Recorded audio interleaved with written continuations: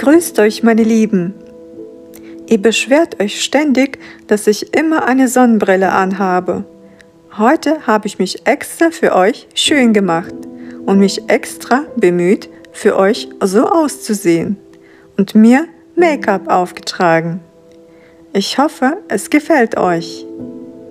Da ich euch bereits erzählt habe, dass ich mich normalerweise ständig im Homeoffice befinde, möchte ich daher meine Haut schonen und deshalb versuche ich mich nicht zu schminken.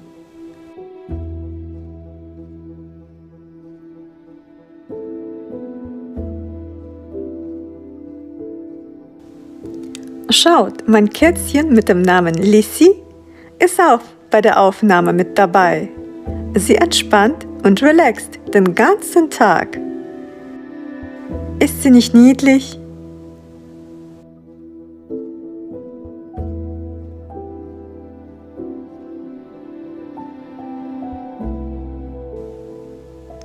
Lisi, sagt den Zuschauern Hallo. Sie ist etwas schüchtern, meine Lieben.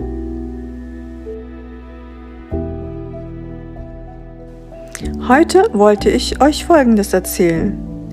Das ganze Problem der Menschen ist, dass ihnen von Kindheit an nicht beigebracht wird, dass wir nicht nur physische Wesen sind, die sich in diesem Körper befinden. Und das war's. Wir haben noch parallele Leben. Wir haben noch subtile Körper.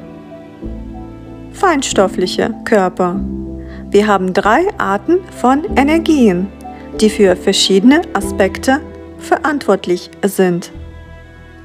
Und wenn ein Mensch energiekompetent wäre, dann würde ihm vieles Neues in seinem Leben gelingen. Und dann gäbe es auch keine Verlierer.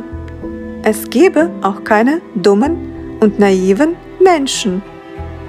Jeder würde sich in seinem eigenen Tempo weiterentwickeln und voranschreiten und wäre als Mensch somit auch vernünftig.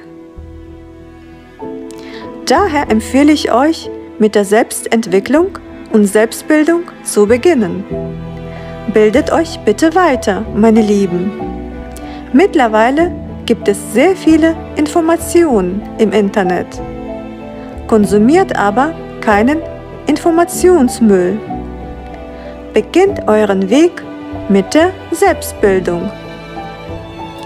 In diesem neuen Jahr 2022 wünsche ich euch viel Erfolg. Ich glaube an euch. Ihr schafft das. Euch wird alles gelingen. Ich wünsche euch noch einen tollen Tag.